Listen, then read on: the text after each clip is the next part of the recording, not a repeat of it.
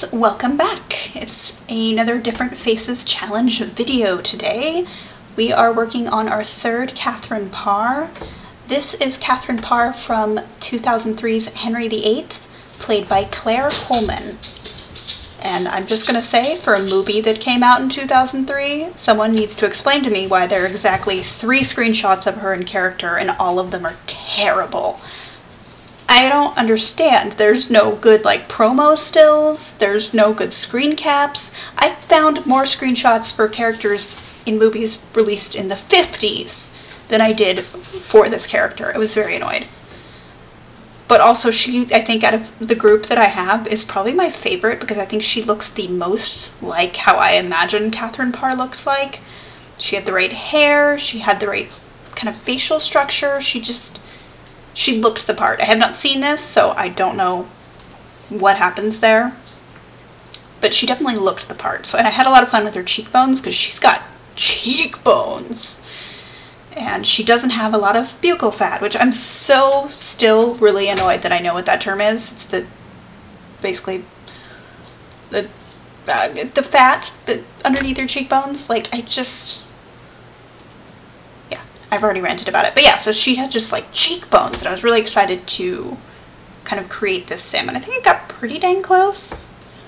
Like, not there was something wonky about her eyes, but overall, I'm really happy with how she turned out. I will say, I do give her a hair that does a disservice to the show, movie, whatever it is. They actually did have her in a hood. I mean, it was garbage, but they did have her in one. However, I couldn't find one that looked close enough to satisfy me, so I just went with a hair that had the right part and was the right color, but it's long and down. It's not like that in the movie, but you know, things happen.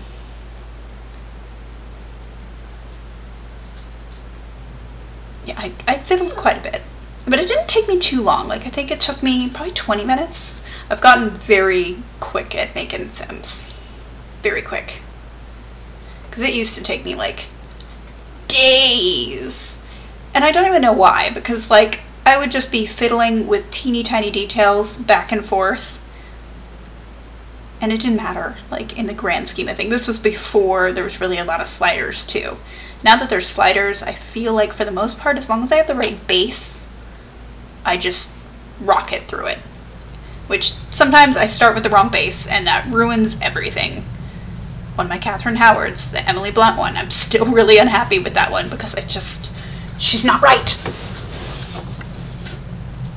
But it's okay, it's okay, things happen. I did struggle a little bit with her nose too. I remember that because I filmed this a couple days ago. But yeah, her nose in some of the, in one of the three, like looks downturned, but in the other two it looks upturned. So I'm not really sure if it's just the tilt of her head or what's going on. I ended up going with the upturned version, but it was really frustrating that it was like that. I went with up tilted only because the side version that was an actual screen grab from the movie showed that, so it seemed like it was right, but I don't know. Sometimes noses are hard. Yeah, this is me changing it, going, oh, dang it, I gotta I hate when I do that, when I base too much of the face on like the first image and then I look at the next one and I'm like, cool, this is wrong. I look at all of them before I start, but it's like my brain just forgets. I really like that hair, by the way. I just want to use it on all my Sims. I'm not using it for her, but I figured while I was making the Sim, I could I could admire it. It's just pretty. It's that like 40s aesthetic, but modern, and I just like it. If I could make my hair do that, I would do it every single day. But my hair has a mind of its own, and that is never going to happen. So yeah, now this is me looking for hoods. The, the type that they put on her is one that's fairly common for productions. It's where it's like a headband, but it's got some shape to it. I genuinely don't know why, but I, I didn't like, it wasn't fully round, so I didn't want to put my usual round hood on her because she didn't have a round hood, but she also didn't have a gable hood. It was like weird, I would say heart shaped. It's not heart shaped, but like in my brain that's what it is. So yeah, I was like toying with the idea of other hairs, just something with a heavy part. because you can definitely see it under the headbandy hood that they have on her. She's got a very heavy part and that dark, dark auburn hair. Yeah, this is the one I went with.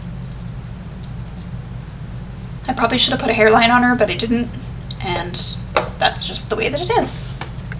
I do give her some wrinkles because she's an older actress in the film, or it looks like she's got some wrinkles, so I wanted to go with that. I did not look up her age, so please don't yell at me.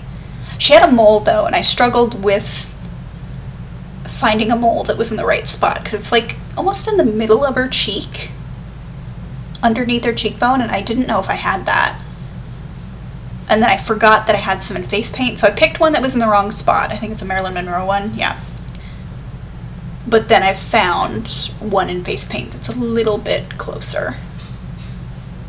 Because I didn't want to give her this one because it was not right.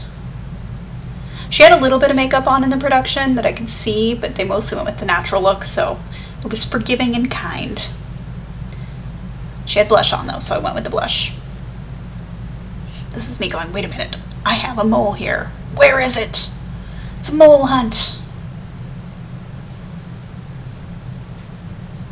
I should use the freckles in here more often too. Because they're really nice. It's a nice set of freckles that I got here.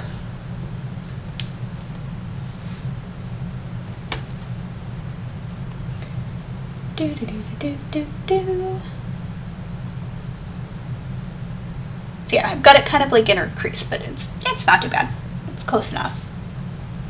And then I just put her in a black dress because there was nothing that I had that was super close to what she was wearing, but I think it worked out alright. Not this one though, the other one. This one, which is a Catherine Aragon one. Anyway, thank you guys so much for joining me. If you like this video, definitely give it a like, and I'll see you in the next one.